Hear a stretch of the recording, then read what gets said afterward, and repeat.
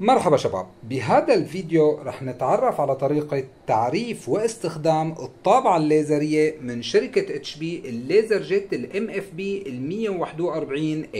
رح نتعرف على طريقة التعريف على اللابتوب وطريقة الاستخدام بشكل عام. بالبداية أصدقائي بننتقل لمحرك البحث جوجل وبنكتب فيه ال HP LaserJet ال M141A driver وبناخد أول نتيجة بالبحث من موقع ال HP داخل موقع ال HP بقدر حمل التعريف الخاص بالطابعة. وبعد ما قمت بتحميل التعريف عندي على جهاز الكمبيوتر رح قوم بتعريفها ولكن بالبداية رح نتعرف على استخدام هي الطابعة كآلة تصوير مباشرة من ورقة موجودة ضمن السكنر للورقة الفارغة اللي عندي. لأنه أحيانا ممكن أنا أستخدمها كآلة تصوير دون الوصل على جهاز الكمبيوتر. فمثلا بالبداية بفتح السكنر اللي عندي وباخذ ورقة على التعيين بهذا الشكل وبسكر عليها بهذا الشكل. وفي عندي هون هي الرسمة اللي موجودة. طبعا بعد تشغيل الطابعة أكيد وصل على الكهرباء بكبس أو بضغط على هذا الزر اللي هو عبارة عن عبارة النسخ.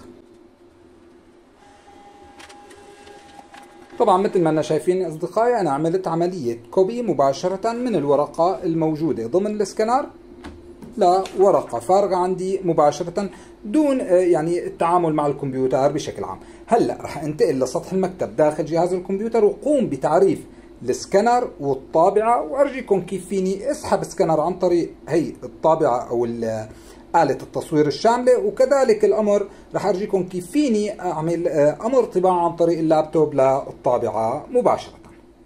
إذا أصدقائي بعد ما انتقلت لسطح المكتب بجهاز الكمبيوتر وقمت بتحميل التعريف الخاص بالطابعة اللي بين إيدي من موقع ال HP بقوم بتثبيته.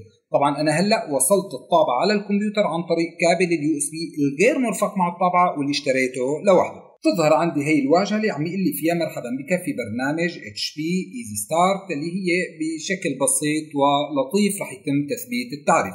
بعمل متابعة. هل تريد المساعدة في تحسين برامج HP عن طريق مشاركة البيانات؟ إذا ما بتحب تشارك بياناتك قل له لا.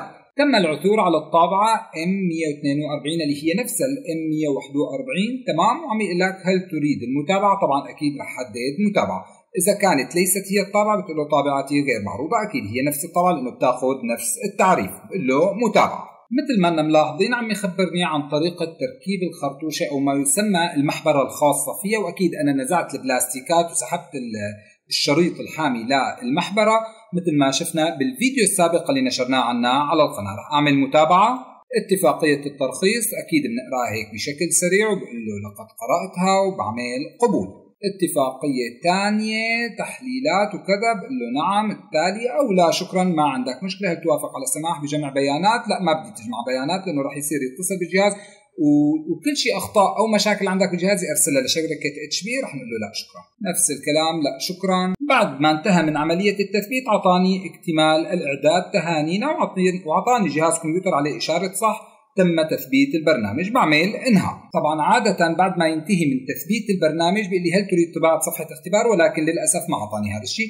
رح أعمل مستند نصي لا على التعيين من هذا المكان ونكتب فيه كلام كذلك الأمر لا على التعيين بهذا الشكل. ونعمل Control P طباعة. وبنلاحظ أنه الطابعة موجودة بهذا المكان بمكان الطابعات HP ال Laser ال MFP ال M 49 أو M 142 كلياتهم بياخذوا نفس التعريف وبعمل print طباعة. طبعا لأتأكد إنه الطابعة شغالة 100% وأكيد هي موضوعة بحالة ال default إنه الطابعة الأساسية. عندي بعمل print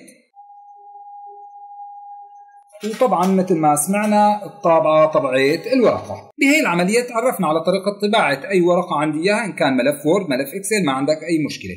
طيب طريقة سحب السكانر على هي الطابعة كيف؟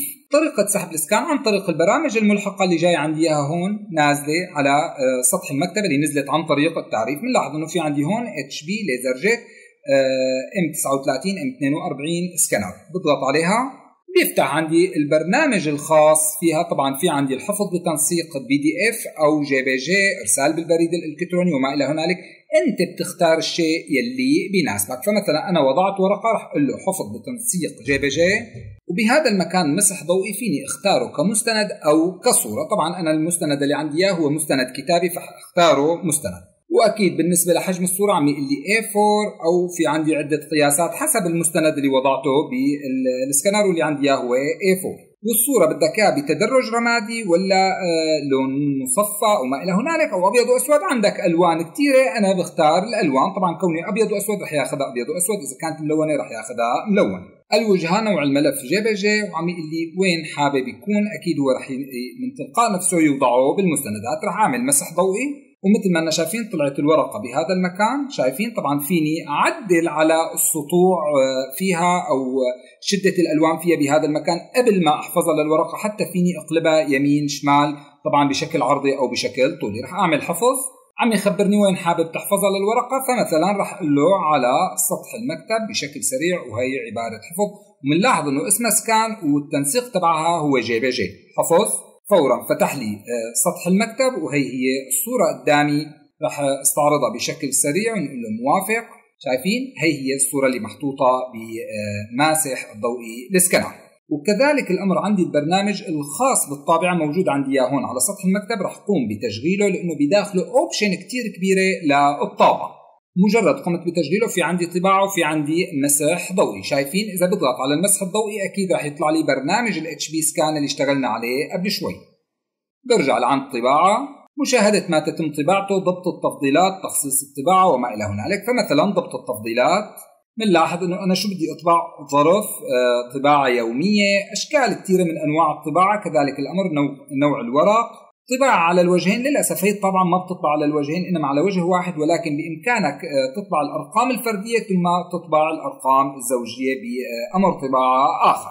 بالتبويبات عندي فوق عندي الورق الجودة وما إلى هنالك. كذلك الأمر عندي أمر التخطيط اللي بإمكانك عن طريقه تحدد أسلوب الطباعة وأخيرا عندي متقدم اللي بداخله عكس ترتيب الصفحات. داخل أمر تخصيص الطابعة عندي الخيارات وال option المعروف اللي من داخل ال Windows. اللي عن طريقه فيني أطبع صفحة اختبار واللي عن طريقه فيني أدخل للتفضيلات الخاصة بالطابعة. طبعا نفسها رح تظهر اللي دخلنا لها قبل شوي. من تبويب مشاركة فيني اجعلها طابعة مشاركة على هذا الكمبيوتر لحتى شاركها عن طريق الشبكة. يعني أي جهاز على الشبكة فيه يطبع عليها هي الطابعة ولكن عن طريق هذا الكمبيوتر. يعني الكمبيوتر بده يكون شغال والطابعة موصولة عليه بشكل دائم وشغالة بشكل دائم. باقي التبويبات الاعتيادية المنفذ اللي موصولة عليه الطابعة والخيارات المتقدمة بشكل عام إدارة الألوان الأمان وإعدادات الجهاز بشكل عام. وطبعا مثل ما إحنا شايفين هون عندي على الجانب في عندي التسوق. إذا كنت بدي اتسوق محابر أو قطعة لهي الطابعة كذلك الأمر في عندي الأدوات لعمليات الصيانة الخاصة بالطابعة اللي هي من تلقاء نفسها بتنظف الرؤوس وبتنظف المحبرة.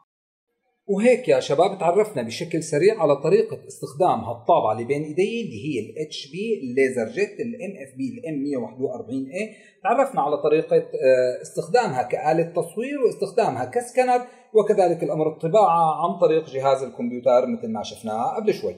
شكرا لمتابعتكم أصدقائي وإلى اللقاء بفيديو جديد من فيديوهات قناة التقنية عربية.